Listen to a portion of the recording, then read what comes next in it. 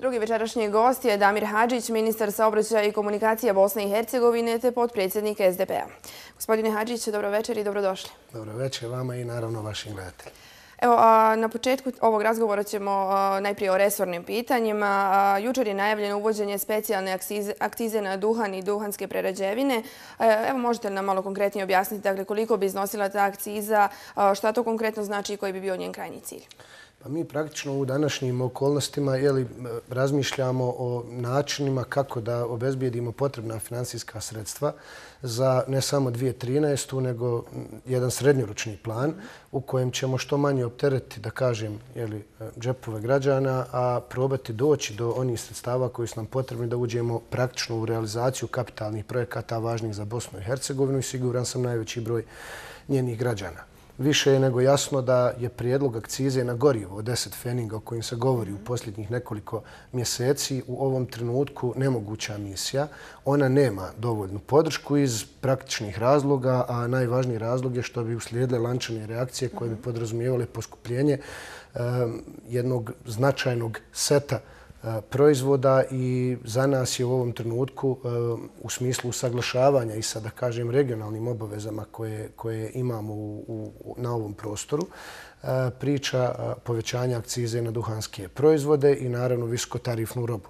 E, mislimo da bi e, taj iznos od 15 ili 20 feninga bio sasvim dovoljan da na priči infrastrukture, odnosno važnim pitanjima infrastrukture, postignemo ono što u ovom trenutku želimo, a to je da najkasnije do 2020. godine, e, zahvaljujući takvoj vrsti kreditne sposobnosti koje bi mogle imati institucije Bosne i Hercegovine, možemo imati završen koridor 5C danas sa jasno definisanim rokom njegove gradnje s jedne strane, a s druge strane eh, održavanja i gradnje nove potrebne infrastrukture kao neke vrste žile kucavice, odnosno embriona ekonomskog oporavka bosansko-hercegovačke privrede. Svi su do danas jako puno govorili o potrebi da Bosna i Hercegovina uđe u proces E, ekonomskog razvoja, odnosno neke vrste ekonomskog oporavka, nismo mogli vidjeti bilo kakve jasne strategije. Mi danas imamo poprilično jasnu viziju u kom bi to smjeru trebalo ići i naravno da ćemo u nekoliko narednih sedmica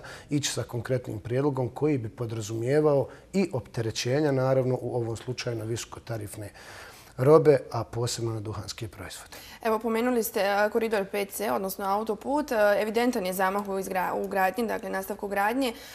Šta će biti u narednoj godini? Imate li neke planove? Da li će biti novih kredita za izgradnju autoputa na koridoru 5C s obzirom da je evo dio novca obezbjeđen već ranije? Pa tačno je. Dakle, dio novca jeste obezbjeđen ranije, međutim moramo se prisjetiti, a to nije bilo tako daleko, da koliko god novca je bilo obezbjeđeno, on praktično nije bio implementiran. Mhm. Tako da smo i grace period, onaj period oslobađanja od izmirenja obaveza prema kreditoru, e, mi u stvari izgubili i počeli vraćati pare, a da nismo napravili jedan jedini metar autoputa. Uh, u 2012. posebno 2013. Uh, bit će vidljiv taj zamah u gradnji uh, koridora. Međutim, ono što je, čini se, još važnije jeste naglasiti da je plan 100 km do polovine 2014. godine spajanje jedne ozbiljne dionce, a to je dakle, od juga Sarajeva do juga Zence, i traženje novih modela, jer je danas više nego jasno da novim kreditnim zaduženjima mi nećemo moći E, dodatno opteretiti budžete bilo Bosne i Hercegovine ili njenih entiteta, jer one naravno podrazumijevaju vraćanja koja opet idu iz sredstava, odnosno od poreskih obveznika. Dakle, drugi model ili strateški pravac jeste koncesija, a treći je javno-privatno partnerstvo.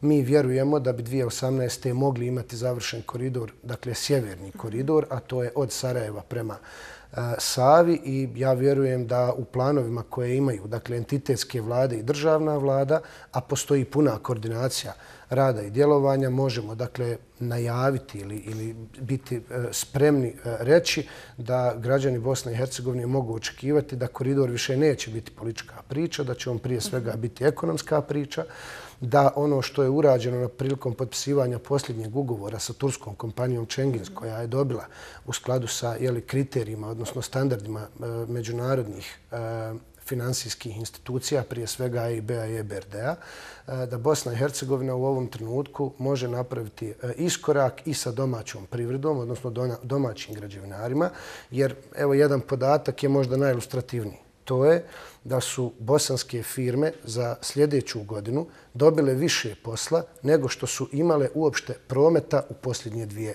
godine. Govorimo o građevinskim kompanijama.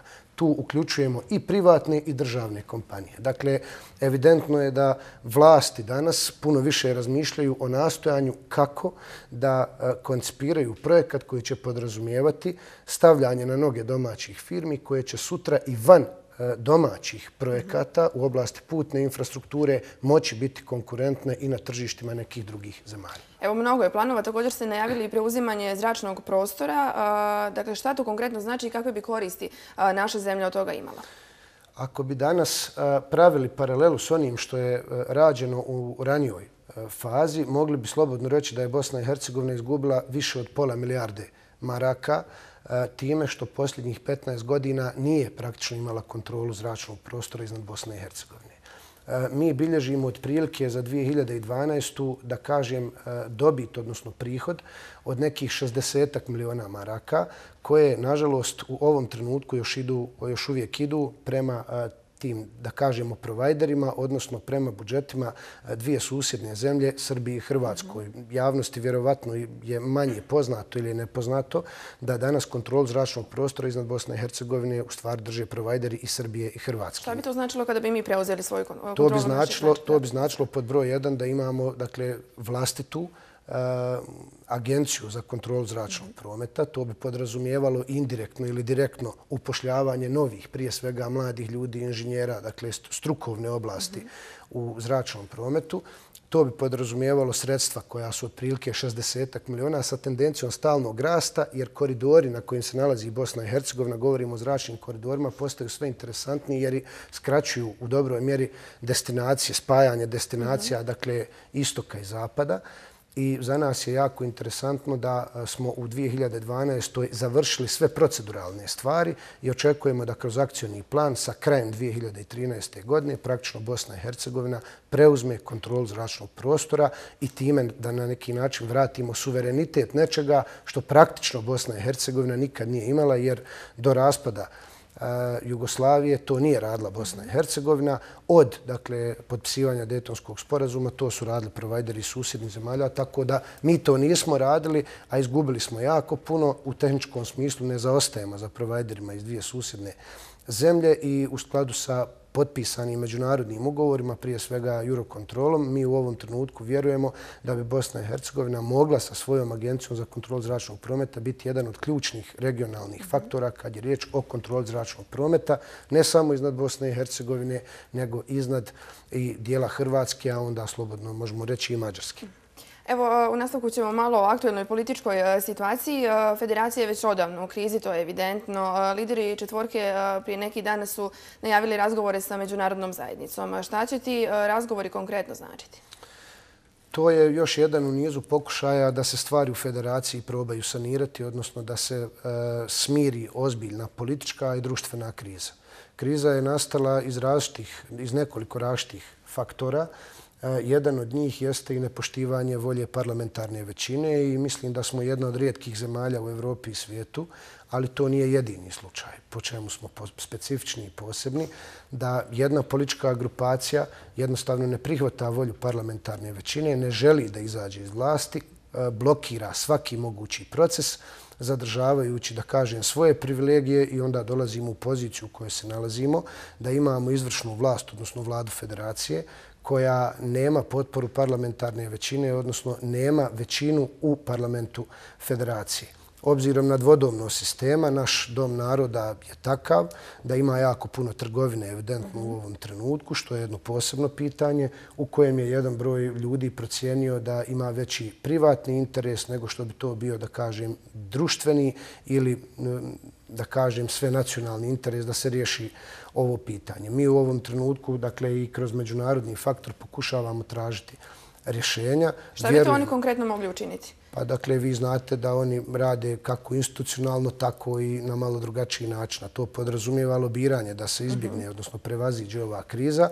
A obzirom da imamo nekoliko ključnih međunarodnih faktora tu u Bosni i Hercegovini, prije svega mislimo na OHR, onda i na nekoliko jeli, ambasada u Bosni i Hercegovini da naprobamo napraviti i taj korak. Ukoliko ne dođe do tog koraka, odnosno bude neuspješan, kao što je bio niz napora koje smo do sad radili, onda ćemo naravno tražiti dodatno alternativno rješenje. I ono Jesu li vanredni izbori opcija? Oni jesu opcija, bez obzira kako pravili kalkulacije rašti politički subjekti, oni jesu opcija. E, danas već neki najavljuju vanredne izbore, pozivaju na vanredne izbore i ovaj kažu da se neko plaši i neko se više, više ili manje plaši. To je naravno u ovom trenutku poprilično deplasirano i degutantno.